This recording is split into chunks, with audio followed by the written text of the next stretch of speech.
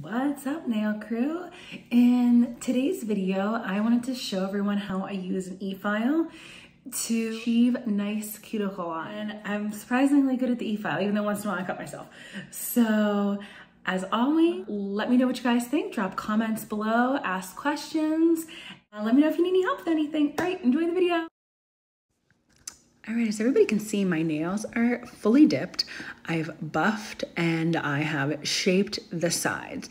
So now I'm gonna go in with my e-file and this bit that I'm using, it's actually from my original e-file I got from Amazon. That was $20 and it came with a couple really nice bits. It's a fine, a very, very fine bit. It's thinner and the edge is, I don't wanna say sharp, but it's flat and it allows me to get in really tight into my cuticle lines as you can see.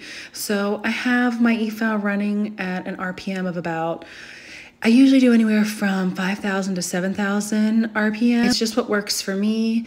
Any higher and I cut myself any lower and it just doesn't work.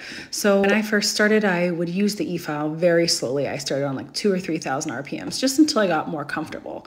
So now that I'm more comfortable, I turn it up a little higher and I just, I go around my cuticles and really give it that nice rounded shape. You know, you can see the, the excess dip just flying off, which is awesome. So if you are somebody like me who ends up with some on your cuticles, some dip uh, liquids on your cuticles, or is a messy dipper, then the e-file might be for you. I'm gonna finish up my nails here and show everyone a picture of my final mani, what it looked like after I was done top coating and everything. So if anyone has any questions, please drop them below. Thanks, nail crew.